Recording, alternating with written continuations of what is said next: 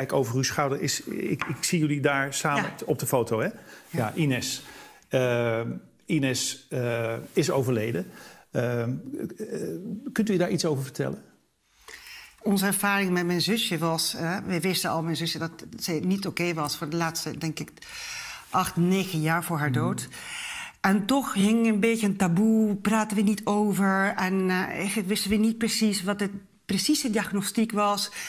en hoe, hoe wij beter konden ja, geholpen worden om haar beter te helpen. Want ze was depressief? Um, ja, ze had een beetje meer dan depressie. En hmm. uh, ja, een, een stoornis, perso persoonlijkheidsstoornis. En um, ja, we hebben denk ik af en toe met onze beste kunnen haar geprobeerd te helpen, begeleiden. Maar ja, de realiteit is, ja, professioneel ben je niet. En um, een paar keer echt uh, opgenomen Um, soms weet ik niet of dat het beste is of niet. Maar ik denk dat veel moet gedaan worden aan de geestelijke gezondheidszorg. En, en we weten nu dat uh, um, 75% van alle uh, mentale echte symptomen komen vanaf 14 tot een 25 jaar. Dus mm -hmm. heel veel te doen bij jongere mensen.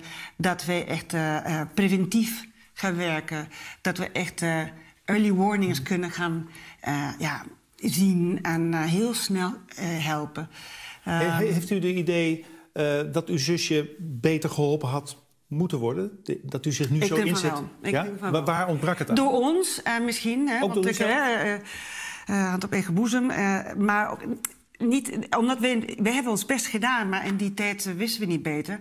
Maar ik denk dat ja, betere begeleiding dan in plaats van een, een psycholoog, gewoon een team van. Uh, hmm. van van psychologen en artsen. Um, maar ja, weet u, het, het, heeft geen zin om aan mijn zusje, want dat weet ik niet genoeg nu. En, en, wat ik heb geleerd is, nou, als, deze ervaring, als ik zelf deze ervaring heb gehad, nou, dan moet ik gewoon gebruiken zodat anderen dat niet hebben. Want um,